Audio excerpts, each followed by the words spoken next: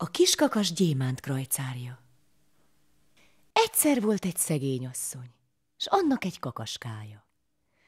Egyszer a kakas, amint a szemét dombon kapirgál, kikapar egy gyémánt krajcárt.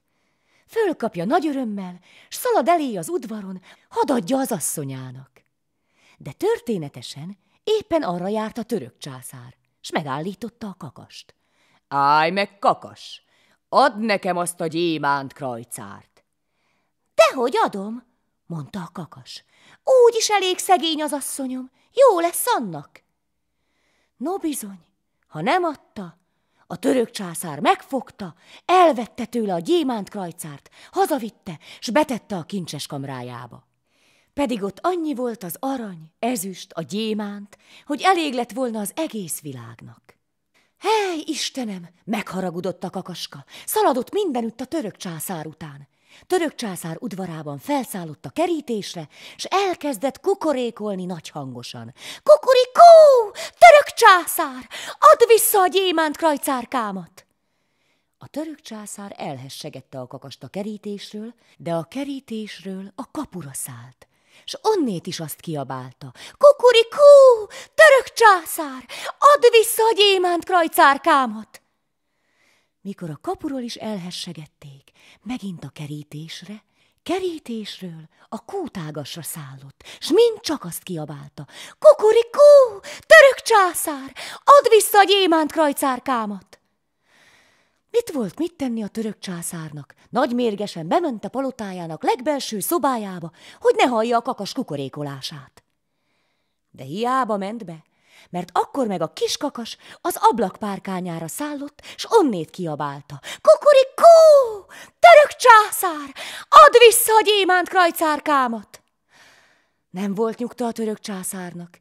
Kikiáltott nagy mérgesen a szolgálónak, hogy fogja meg a kakast, s dobja bele a kútba.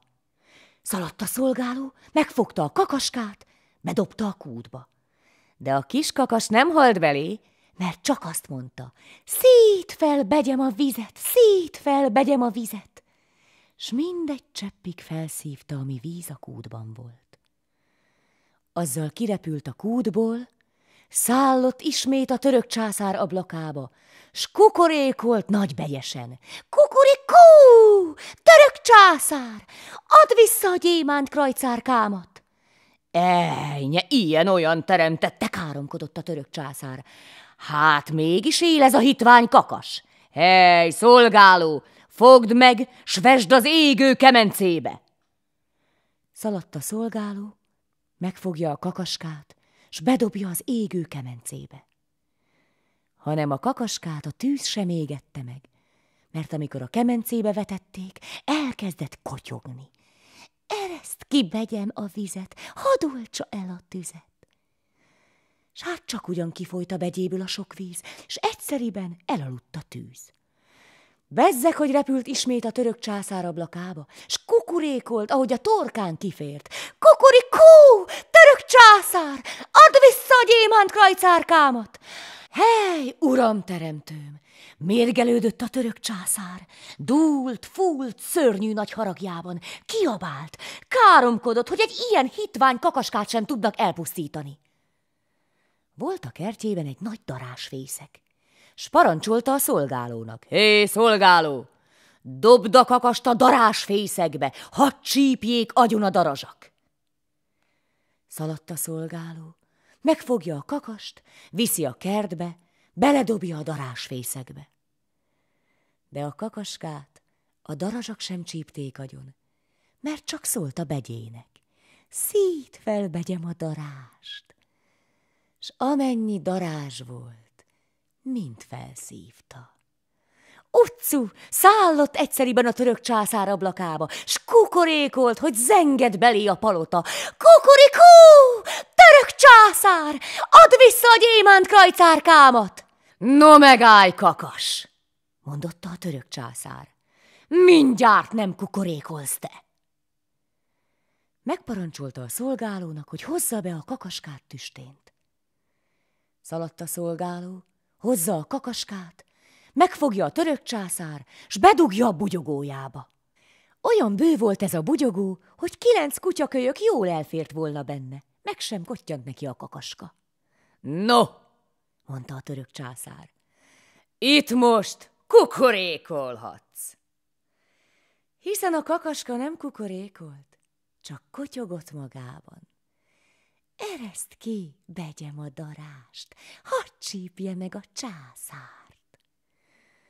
Kiszállnak a darazsak, csípik, marják a császárt. Táncol, ordít a császár, nem tudja, mit csináljon nagy kínjában.